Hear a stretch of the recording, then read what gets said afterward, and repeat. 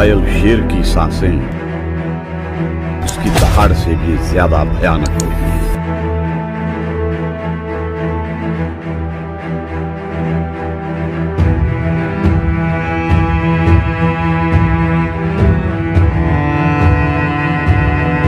जो नाकामयाबी को गले लगाना नहीं जानता। वो कभी तरक्की नहीं पाता।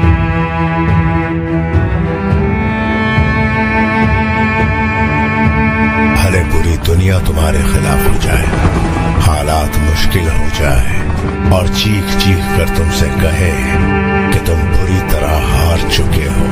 मगर जब तक तुम्हें अपने आप पर भरोसा है, तब तक कोई भी, कहीं भी और कभी भी तुम्हें हरा नहीं सकता।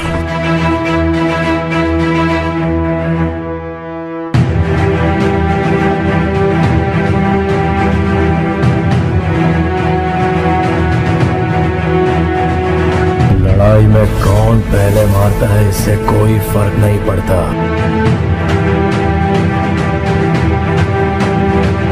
उस शेर से वो नफरत करते हैं। उसका कुछ नहीं बिगाड़ सकते ना। इसलिए दया वया के भाषण झाड़ते हैं।